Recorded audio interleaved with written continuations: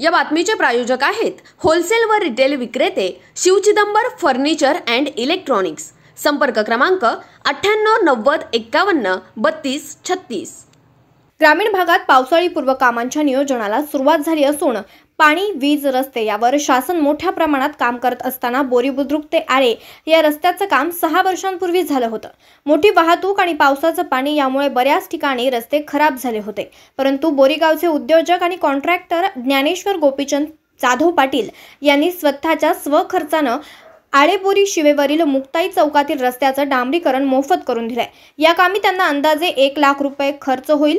असंही त्यांनी सांगितलंय. या चौकाचं काम केल्याबद्दल ग्रामस्थांनी त्यांचं समाधान व्यक्त केलं. यावेळेस बोरीगावचे उपसरपंच दिनेश जाधव ग्रामपंचायत सदस्य सुनील जाधव यांनी भेट देऊन त्यांचे आभार व्यक्त केलेत. न्यूज रिपोर्टर अशोक कोरडे आज चोवीस तास बोरी बुद्रुक.